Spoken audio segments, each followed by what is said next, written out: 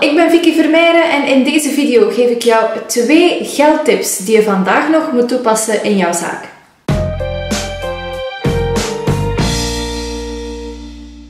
In deze video gaan we het hebben over geld. Waarom? Wel omdat jij jouw eigen zaak runt en geld is daar gewoon super belangrijk in. En omdat heel veel mensen zich angstig en oncomfortabel voelen als ze over geld moeten praten. Nu, geef toe, we doen allemaal wat we graag doen, dat doen we dagdagelijks, maar zonder geld zouden we dat helaas niet meer kunnen verder doen. Nu, bij het runnen van jouw zaak komen heel wat aspecten kijken. En meestal doen we net die dingen waar we goed in zijn en die we leuk vinden. Helaas komt het financiële plaatje dan een beetje op de achtergrond. Daarom wil ik jou in deze video twee financiële tips geven die je echt vandaag nog moet toepassen. Tip nummer 1. Weet exact hoeveel geld er binnenkomt en buiten gaat. Het klinkt logisch, maar er zijn heel veel ondernemers die slechts één keer per kwartaal de tijd nemen om cijfers te gaan bekijken.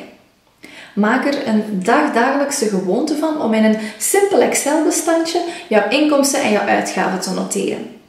Een extra voordeel is, is dat je makkelijker jouw cijfers kan gaan analyseren en sneller een strategie kan bedenken om bij te gaan sturen.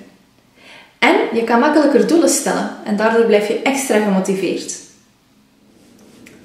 Tip nummer 2. Geef jezelf een vast salaris. Ik ken heel veel ondernemers die uit hun kassa leven. In maanden waarin het heel goed gaat, kunnen ze heel veel spenderen en in maanden waarin het heel slecht gaat, heeft dat zelfs invloed op hun privéuitgaven. Nu, ik kan me voorstellen dat het heel veel stress met zich meebrengt, zeker als je gehecht bent aan stabiliteit en structuur.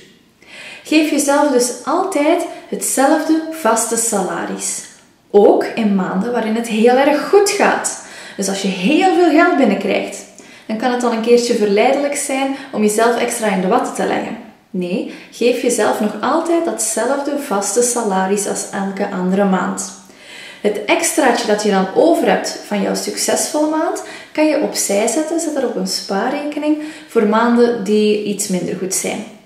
Op die manier heb je het ganse jaar door een vaste structuur en een constant inkomen, ben je veel rustiger en kan je objectiever naar jouw zaak kijken. Zo, dit waren mijn twee financiële tips. Voor meer tips en tricks ga naar vickyvermeijeren.be en schrijf je in voor de nieuwsbrief. Ik wil jou hartelijk bedanken voor het kijken en tot de volgende keer. Dag!